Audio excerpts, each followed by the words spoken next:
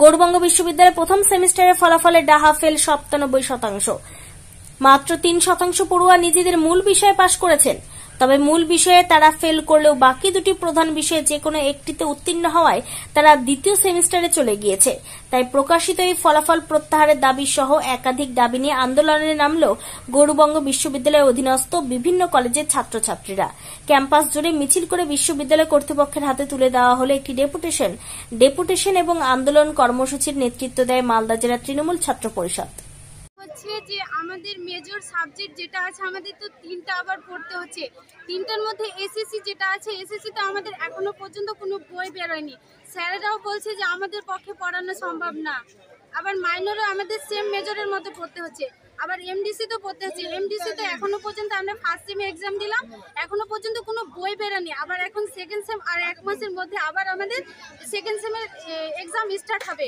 তবুও আমাদের কোনো বই এখন পর্যন্ত বেরোয়নি। ভিএসসি আমরা এর আগে আমাদের বই বেরিয়েছিল আমরা লাইব্রেরি থেকে কালেকশন করে আমরা সমস্যার সমাধান করেছিলাম। কিন্তু আমাদের এবার বলেছে কোনো বই থাকবে না। আমাদের সাথে যদি প্রতিবারে এরকম হয়, তাহলে আমরা ফিউচারে যে কোনো কিছু করব, সেটা আমরা কি করে এগিয়ে যাব? কিন্তু আমাদের এটাই দাবি যে আগে যেরকম সিলেবাস ছিল সেম করা হোক। কারণ আমাদের পক্ষে এতটা পাঁচটা সাবজেক্ট আমাদের মেজরের মতো পড়তে হবে। আমাদের কাছে মেনে নেওয়াটা অসম্ভব হচ্ছে। কারণ অনেক সমস্যা দেখাচ্ছে। স্যারেরাও বলছে যে আমাদের পক্ষে করানো সম্ভব হচ্ছে না। তো স্যারেদের পক্ষে যদি সম্ভব না হয়, তাহলে একটা স্টুডেন্ট হয়ে আমাদের পক্ষে কি করে সম্ভব হয়? এসএসসি আর এমডিসি নিয়ে বেশি আর ভিএসসি নিয়ে ফার্স্ট সেমে ভিএসসি নিয়ে কোনো প্রবলেম হয়নি। কিন্তু আমাদের সেকেন্ড সেমে অতিরিক্ত সবচেয়ে প্রবলেম হচ্ছে এমডিসি এসএসসি আর ভিএসসি নিয়ে। এখন কি দাবি তোমার?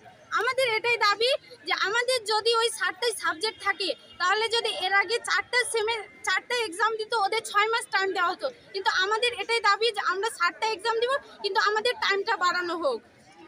নাম? কি নাম আপনার? খালিদা খাতুন।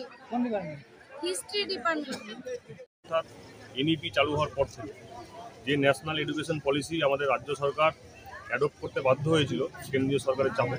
সেই ন্যাশনাল এডুকেশন পলিসি অনুযায়ী প্রথম সেমিস্টারে যে পরীক্ষা ছাত্রছাত্রীরা দিল, তাতে প্রায় মেজর সাবজেক্টে সাতানব্বই শতাংশ ফেল করেছে।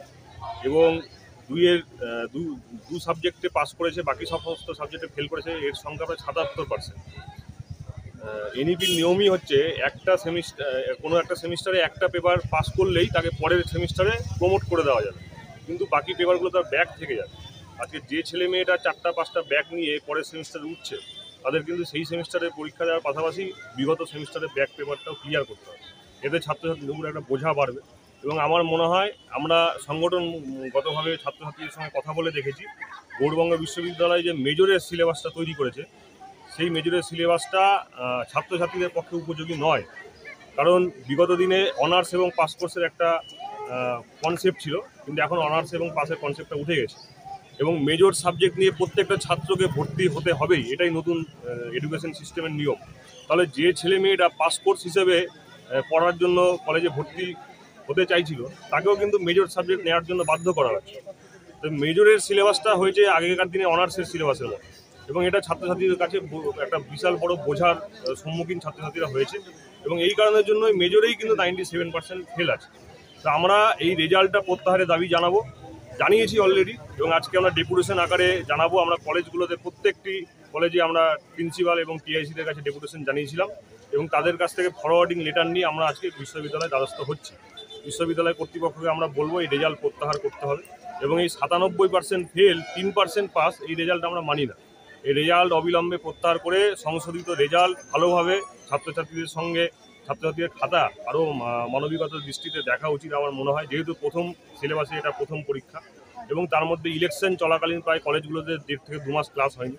এই বিষয়টা মাথায় রেখে আমরা কন্ট্রোলারকে বলব যে এই রেজাল্টটা প্রত্যাহার করে একটু মানবিক দৃষ্টিতে ছাত্রছাত্রীদের খাতাটা দেখা হোক এবং সবচেয়ে বড় কথা, সিলেবাসটাকে পরিবর্তন করতে হবে মেজরের। আমরা মাইনরের সিলেবাসে পরিবর্তন চাইছি না, মেজরের সিলেবাসটা পরিবর্তন চাইছি। কারণ আমাদের এই সমস্ত এলাকার ছাত্রছাত্রীরা প্রত্যেকেই আহ, পড়াশোনা মানে অনার্স যারা নিতে চাইছে তার পাশাপাশি যারা পাস কোর্স নিয়ে এতদিন পড়ে এসছে তারা প্রত্যেকেই পড়াশোনার পাশাপাশি বিভিন্ন কাজকর্মের সঙ্গে জড়িত। পার্ট টাইম জব করছে কেউ বাড়িতে কৃষি কাজ করেও পড়াশোনা করছে কেউ অফিসে দোকানে শপিং মলে কাজ করেও পড়াশোনা করছে। সুতরাং তাদের পক্ষে এই মেজরের এই ভারী সিলেবাসটা টানা সম্ভব হচ্ছে না। এত খারাপ ফল কেন? কলেজ স্তরে কি পড়াশোনা হচ্ছে? একদম একদম। কলেজ স্তরের কলেজ স্তরের পড়াশোনাটাই হচ্ছে গোড়ায় গলদ বলে আমরা মনে করছি। দীর্ঘদিন ধরে আমরা লক্ষ্য করছি কলেজগুলোতে অধ্যাপক, অধ্যাপিকারা ক্লাস নিচ্ছেন না এবং ছাত্রছাত্রীরাও কলেজে যাচ্ছেন। ছাত্রছাত্রীদের যদি জিজ্ঞেস করি যে, তোরা কলেজে কেন আসছিস না? ওরা বলছে, অধ্যাপক, অধ্যাপিকারা কলেজে ক্লাস নেয় আর অধ্যাপক অধ্যাপিকার কাছে যখন আমরা যাচ্ছি যে, স্যার, আপনারা ক্লাস কেন নিচ্ছেন? ওনারা বলছেন যে ছাত্রছাত্রীরা কলেজে আসছে। আমার মনে হয় এই পরিস্থিতিটার পরিবর্তন হওয়া দরকার আছে। আমরা বিশ্ববিদ্যালয়ের কাছে অনুরোধ করব অ্যাটেন্ডেন্সটাকে বাধ্যতামূলক করে এবং অ্যাটেন্ডেন্সের জায়গাটা আরও একটু মান্যতা দিয়ে ইন্টারনাল মার্কসগুলোর ক্ষেত্রে যেন অ্যাটেন্ডেন্সটাকে একটা মাপকাঠি হিসেবে ধরা হয়। তদন্ত কমিটি করা হয়েছে তদন্ত কমিটি বিশ্ববিদ্যালয় করছে কিন্তু তদন্ত কমিটিটা করে শুধুমাত্র নামকাবাস্তে তদন্ত নয় একটা একাডেমিক সেক্টরে পরিবর্তন দরকার। দীর্ঘদিন ধরে করোনার পরবর্তী কাল থেকে কলেজগুলোতে যে ক্লাসের অনীহা এবং শিক্ষক শিক্ষিকারা বেশিরভাগ ক্লাস এখন অনলাইনে নিয়ে নিচ্ছে অফলাইনে ক্লাস নিতে চাইছেন না। এতে এতে আমার মনে হচ্ছে প্রকৃত মেধা যারা আছে বা যারা প্রকৃত মেধাবী ছাত্রছাত্রী যারা গ্র্যাজুয়েশন পরে এমএসসি করবে বা আরও ভালো জায়গাতে যাবে তাদের কিন্তু পড়াশোনার ক্ষেত্রে একটা সমস্যার সম্মুখীন হতে হচ্ছে। আমাদের bureau report news for Bengal. This channel does not promote or encourage any illegal activities. All contents provided by this channel is meant for educational purpose only.